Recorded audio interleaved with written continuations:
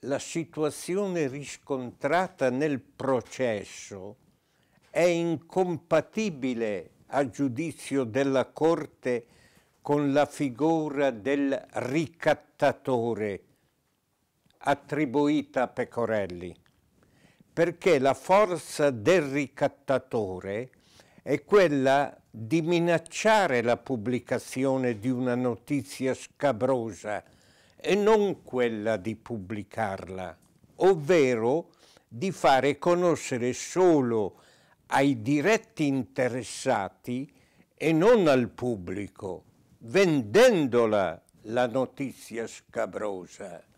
Questo Pecorelli non l'ha mai fatto.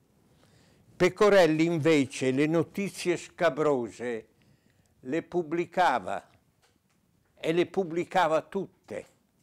Anzi, io ritengo che la ragione per la quale Pecorelli è stato assassinato è proprio dovuta per impedirgli di pubblicare notizie scabrose.